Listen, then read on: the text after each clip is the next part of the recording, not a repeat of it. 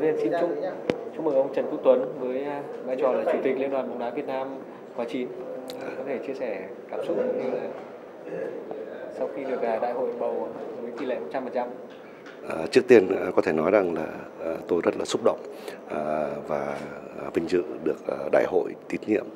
Ờ, với chức ờ, vị trí ờ, chủ tịch Liên đoàn bóng Việt Nam.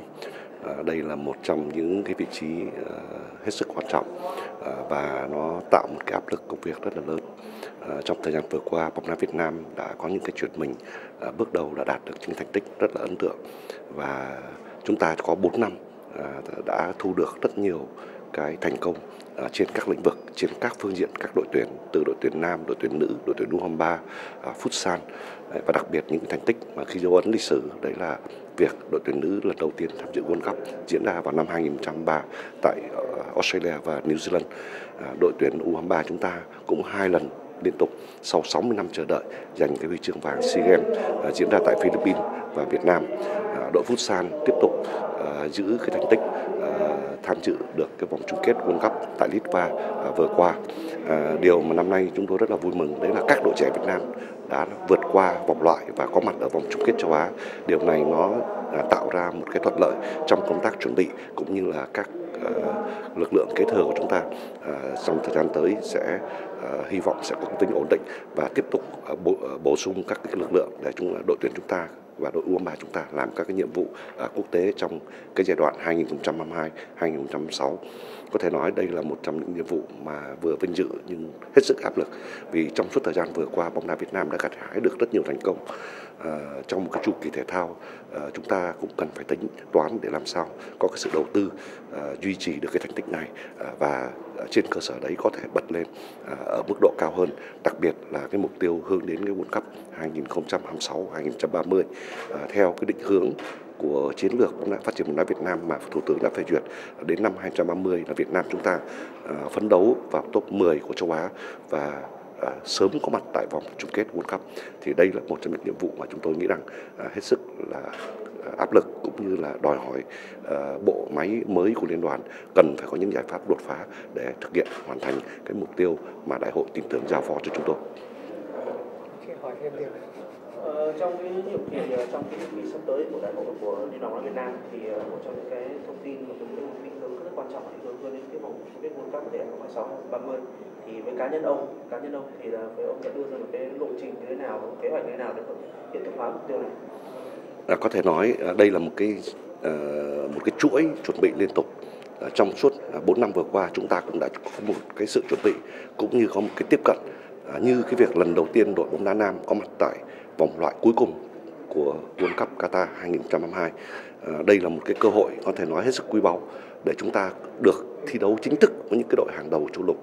à, ở một cái giải đấu chính thức của FIFA. Đấy, và tôi tin rằng là với những cái trải nghiệm như vậy, cầu thủ Việt Nam à, ở trong đội tuyển quốc gia sẽ có những cái trải nghiệm hết sức quý báu và thu được thu được những cái kinh nghiệm về quốc tế cũng như là đỉnh cao của châu lục và từ đấy à, có thể trong thời gian tới có thể phát huy được trong những cái giải đấu tiếp theo đặc biệt là khi vòng loại World Cup 2026 được bắt đầu từ tháng 11 năm 2023 với cái kinh nghiệm trong việc là tìm kiếm huấn luyện viên và quá trình đàm phán tìm huấn luyện viên cho đội tuyển Việt Nam thì ông có thể chia sẻ một chút về cái nhiệm vụ quan trọng đầu tiên trong nhiệm kỳ chủ tịch này là tìm huấn luyện viên cho thầy à, có thể nói rằng là uh, vấn đề chọn lựa chọn huấn luyện viên là một vấn đề hết sức quan trọng uh, đối với một đội tuyển quốc gia. Uh, trong uh, thực tiễn nếu mà chúng ta chọn đúng huấn luyện viên uh, có kinh nghiệm và phù hợp thì sẽ phát huy được cái sức mạnh tối đa, đặc biệt là cái 4 năm vừa qua 5 năm vừa qua à, với cái sự cống hiến à, của hội viên Park Hang-seo, đội tuyển Việt Nam có những cái thay đổi hết sức đáng kể à, về mặt chuyên môn. Vì vậy mà ngay sau khi đại hội chúng ta Ờ, tổ chức xong hoàn thiện bộ máy thì ờ, tổ thường trực liên đoàn sẽ có những cái cuộc họp và có những cái phân công để các cái thành viên ờ, phụ trách về chuyên môn cũng như là phụ trách quan hệ quốc tế bắt đầu cái việc lựa chọn các cái huấn luyện viên để chúng ta thực hiện bắt đầu từ nhiệm vụ từ SEA Games vào tháng 5 năm 2023 tổ chức tại Campuchia, cũng như vòng loại Asian Cup diễn ra à, vào tháng 7 tháng 8 và đặc biệt là những cái vòng loại World Cup 2026 bắt đầu diễn ra vào tháng 11. Ông có thể chia sẻ là trong cái quá trình tìm kiếm đó thì hiện giờ là ta đã tiếp cận bao nhiêu ứng viên hoặc là có bao nhiêu ứng viên đã gửi cái hồ sơ đến Liên đoàn bóng đá Việt Nam có thể nói vừa qua Liên đoàn Việt Nam tập trung vào công tác chuẩn bị đại hội. Vì đây là cũng là một nhiệm vụ quan trọng. Khi hoàn thiện bộ máy thì sẽ có và hai nữa cái việc nhân sự tham gia vào bộ máy Ờ, có một ý nghĩa hết sức quan trọng trong cái việc ờ, ờ, chuẩn bị cũng như là tìm kiếm huấn luyện viên và nên nhớ một việc là huấn luyện viên Park Hang-seo còn đang trong hợp đồng và để cái sự tập trung của đội tuyển chúng ta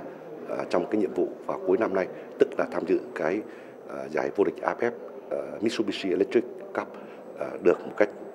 kỹ càng và tập trung, thì chúng tôi cũng nghĩ rằng là chúng ta cái việc công bố viên trưởng cũng cần có một thời điểm phù hợp.